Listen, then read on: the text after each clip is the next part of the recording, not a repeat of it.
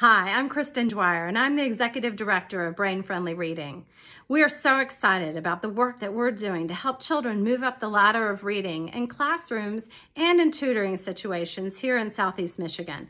In fact, our hashtag is Tap the Chart because we've pioneered an approach to help children in whole class instruction be able to move up the ladder of reading by developing that sound symbol connection that's so vital to doing the phonetic reading work that children who are struggling to read absolutely must have.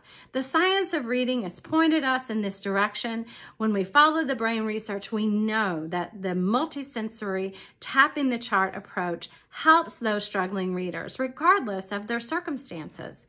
We know that too because in the classroom where we've piloted this program with two fourth grade classrooms, that the children who needed the help the most got it. The children who were reading okay improved, and the children who were already at the top of the heap of readers became better spellers. All of that is possible when the teachers in the classroom use a structured literacy approach with the children, regardless of their age or their grade.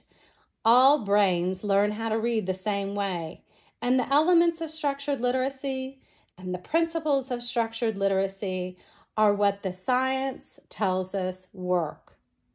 Let's adopt those in the state of Michigan and help children move up that ladder of reading, creating opportunities for the children in our state to become fluent readers, to become educated.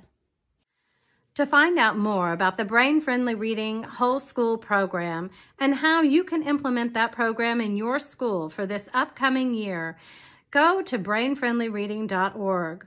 We're a foundation funded organization bringing low cost programming to schools to help them move the children up the ladder of reading.